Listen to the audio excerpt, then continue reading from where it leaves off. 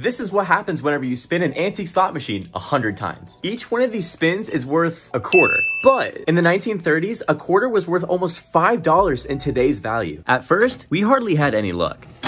Nope. Nope. Give us a win. Give us... Okay, fine. This isn't possible. Nope. Why won't you let me win, dude? Dude, all I want is this double bell Bantam win. That would be so cool. But eventually, we started to see the turnaround. Oh my god, we finally got a small win. Hey, let's go. Two more quarters. Cherry, cherry, lemon. Let's go. Four quarters. Hey, another win. Let's go. Two more quarters. And then out of nowhere, this happens. Give us a win. Give us a win. Oh my god. Oh my god. Oh my god. That's a 16 quarter win. Oh my god. Look at that. I have literally only gotten this win, I think, twice. Ever.